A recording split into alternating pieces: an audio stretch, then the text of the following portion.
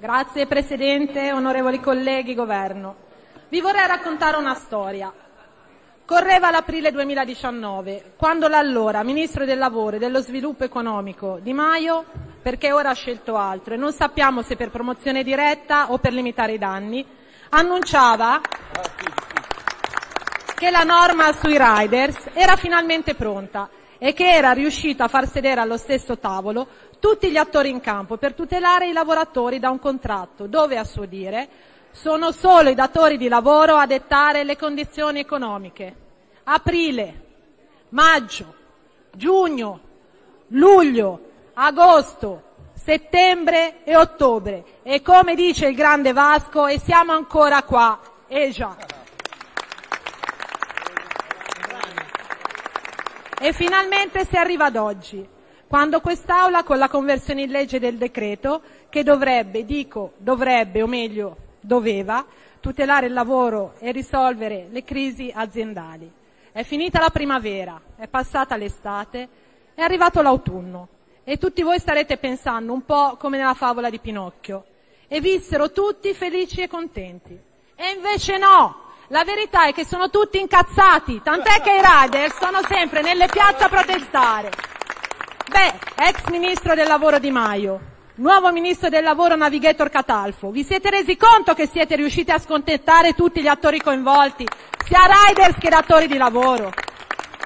È evidente, Partito Democratico e Movimento 5 Stelle, che continuate imperterriti a seguire la vostra strada con miopia e arroganza perché vedete, cari colleghi del Partito Democratico e del Movimento 5 Stelle, a differenza vostra la Lega continuerà a sostenere che quello dei riders è un contratto che deve avere alla propria base la flessibilità, perché la tutela dei lavoratori per noi parte proprio dall'ascolto delle loro esigenze.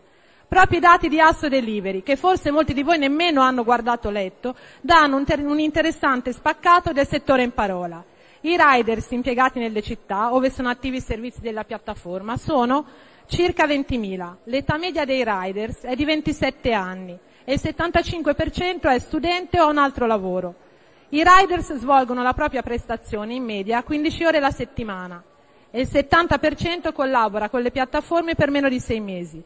Inoltre ricevono un guadagno medio orario compreso fra i 6 e i 16 euro lordi e le piattaforme garantiscono assicurazione contro gli infortuni e contro danni a terzi. E allora, se i dati non sono un'opinione, ciò che state per approvare non è ciò che vogliono i lavoratori, non è ciò che vogliono i datori di lavoro, non è ciò che vogliono i sindacati. Insomma, è un po' come questo governo, non lo vuole proprio nessuno. Quella dei riders, infatti, è un'attività flessibile per sua stessa natura e non a caso viene svolta da persone che hanno bisogno proprio di tale flessibilità. Ed è per tale ragione che la Lega aveva proposto misure migliorative, tra cui una in particolare, eliminare il riferimento in misura prevalente, un'apertura alla tutela assicurativa anche da parte di assicurazioni private, ferma restando la possibilità di scegliere un'assicurazione INAIL, l'introduzione di tutele aggiuntive in materia di sicurezza stradale e trasparenza sulla valutazione e retribuzione dei rider. E infine precisazioni per cui le tutele scusate, aggiuntive non costituiscono un indice di subordinazione. Tali modifiche, come da noi proposte, avrebbero permesso la chiusura di accordi in un settore ancora non rappresentato dalle organizzazioni sindacali e datoriali esistenti. E state tranquilli, una normativa simile esiste già in Francia, quindi anche l'Europa, con l'Europa sareste stati a posto, i vostri amici non si sarebbero dovuti preoccupare di niente. Perché vedete, cari colleghi del Movimento 5 Stelle e del PD, probabilmente vi siete abituati troppo al palazzo e non avete ascoltato o letto quanti i riders ci dicono da mesi, perché sono proprio i lavoratori, come già vi abbiamo ricordato, ad affermare che l'applicazione di questa legge, che vuole vietare il cottimo ed equiparare i riders a lavoratori subordinati, peggiora ulteriormente la loro situazione perché bisogna partire da un presupposto. Cottimo non è una parolaccia. Il cottimo è una delle forme di retribuzione previste dal nostro codice civile e utilizzarlo in modo negativo, come fa da mesi una certa parte politica, non è né una soluzione né una forma rispettosa verso i lavoratori. Che ci sia un minimo garantito per gli stessi può andare bene, soprattutto in, in alcune fasce orarie in cui, senza ricevere proposte di consegna, potrebbero altrimenti non avere alcuna entrata ma il cottimo resta per loro una garanzia di poter guadagnare e introdurre un minimo orario prevalente o addirittura esclusivo rischia di diminuire i compensi invece che aumentarli, facendo perdere il lavoro a molti di loro.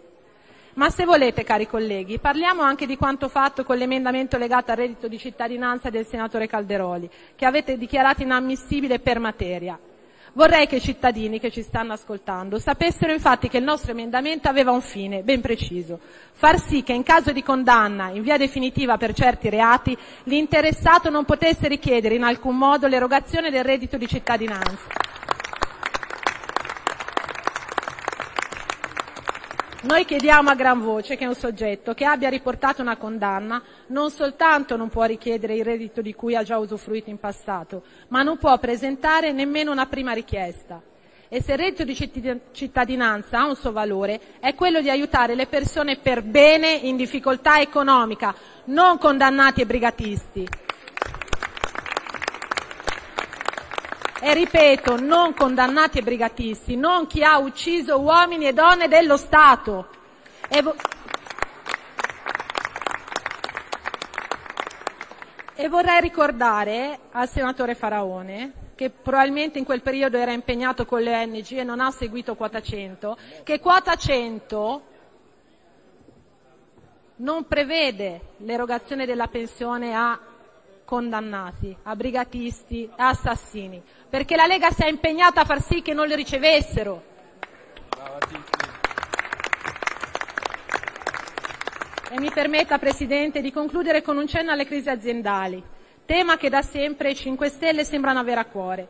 In Italia ci sono attualmente aperte circa 160 crisi aziendali. Una di queste è il famoso caso Whirlpool, che mi tocca anche da vicino essendo coinvolta nella vicenda anche lo stabilimento di Siena. Anche in questa occasione l'ex ministro del lavoro e dello sviluppo economico Di Maio dichiarava che era già pronta una norma DOC per salvare l'azienda.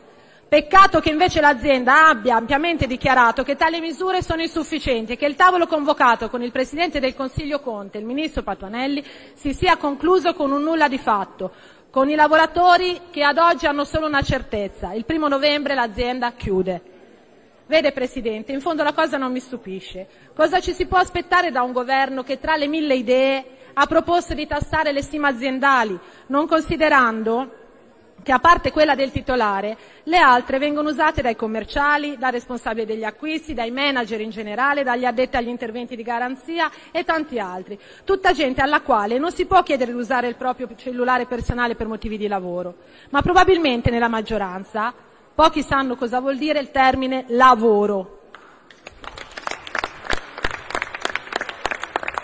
Perché questo governo sembra essere cieco di fronte ai cambiamenti avvenuti nel mondo produttivo ed economico. Perché, colleghi, i governi hanno una sola possibilità: creare le giuste condizioni perché un'impresa nel nostro Paese funzioni e continui a creare lavoro. Voi lo state facendo? Non credo. Energia elettrica molto costosa, burocrazia pesante, penalizzazione fiscale, che questo governo continua ad aggiungere giorno dopo giorno, volendo scaricare sulle imprese anche i costi camerali. Una follia pura. E allora, cari colleghi, dovresti farvi un esame di coscienza e chiedervi se le crisi aziendali, che tanto dite di voler risolvere, non siano in realtà non solo conseguenza di possibili errori aziendali, ma anche vostre scelte scellerate che creano condizioni operative non sostenibili. Ma se volete parliamo dell'Ilva, grande cavallo di battaglia del ministro Di Maio. Ditelo, colleghi dei 5 Stelle, che fine avete fatto fare all'articolo sull'Ilva? Abrogato. Sapete, cari cittadini, cosa vuol dire? Che le priorità non siete più voi, non è più l'Ilva, non sono più i lavoratori, ma sono solo le vostre poltrone. E per questo un ringraziamento particolare va all'ex ministro, che io non chiamerei ministro del Sud, ma ministro anti-Sud Lezzi perché con l'abrogazione dell'articolo 14 questo governo fa solo un gran piacere a Mittal, che dopo essersi liberato delle proprietà a Piombino, ora avrà in mano la miglior giustificazione possibile per liberarsi anche dell'Ilva e far uscire definitivamente il nostro Paese dal mercato acciaio, regalando la produzione ai turchi e noi non avremo mai soldi per le bonifiche, per il risanamento dell'area, per cui signori ricordiamocelo, avremo un altro caso Bagnoli. E lo avete voluto voi. Il governo precedente stava lavorando per aiutare le imprese tutte, i piccoli artigiani, la piccola e media impresa, il tessuto economico su cui si basa il nostro Paese. Voi a cosa state pensando? Siete già per caso concentrati alla prossima grande crisi aziendale che arriverà col decreto fiscale? Perché parliamo di tasse, Prima un inciso. Vorrei ricordare anche all'onorevole Aretina Boschi che domenica la Leopolda ha dichiarato il PD è il partito delle tasse. Onorevole Boschi, ma a sostenere questo governo c'è anche Italia Viva, c'è anche lei, ci siete tutti voi. Vi siete riempiti la bocca di ambiente, ma nella riforma verrà penalizzato chi in tempi non sospetti aveva investito in energie rinnovabili. Ci saranno introiti per lo Stato per circa 123 milioni di euro. Tassa sulla plastica, che rischia di penalizzare le nostre aziende. Introito per lo Stato pari a un miliardo per il 2020 e 2 miliardi per il 2021. Tassa sulle bevande, 10 euro ettolitro, introito per lo Stato 200 milioni di euro. Adeguamento parametri che andranno a colpire proprio le partite IVA. È previsto un introito per lo Stato di 3 miliardi per il 2020. E infine nuove tasse sulla casa, aumento della cedolare secca sugli affitti e aumento dell'imposta catastale. Niente, vada come vada, state creando solo il paese delle tasse. Però una curiosità me la dovete levare. Ma tasserete anche le scatolette di tonno? Concluda, senatrice Lusini, grazie. Sì, ora concludo. Sia chiaro, cari colleghi, che noi non vogliamo in alcun modo essere complici di chi lascia per strada 25.000 famiglie, di chi tutela con il reddito di cittadinanza brigatisti e delinquenti, con chi non ascolta i lavoratori tradendoli in nome di altri interessi. La nostra intenzione iniziale era quella di astensione. Abbiamo avuto un atteggiamento collaborativo nelle commissioni che ci è stato riconosciuto anche dai colleghi della maggioranza, ma dopo la marcia indietro sui riders e Ilva, il gruppo Lega Salvini Premier Staz voterà convintamente no.